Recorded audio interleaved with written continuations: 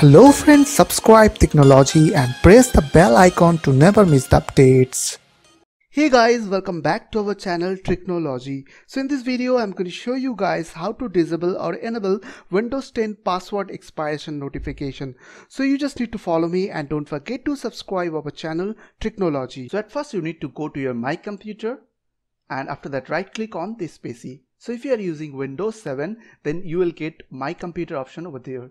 After that click on Manage. Now you have to expand this option is called Local User and groups. After that click on user.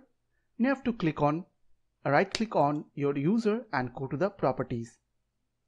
After that if you want to disable the password expiration then you have to check this option. Otherwise you have to uncheck this option. So I will, I will uncheck this option over there and after that click on apply and then OK. Now you have to open your run box just press windows and R button together and after that you have to type over there gpedit.msc. Now you have to click on OK. After that you have to expand this option is called computer configuration. Under computer configuration you, you will get Windows settings so you have to expand this option. So under security settings you will get one option is called uh, account policy. So you have to expand the account policy and then click on password policy.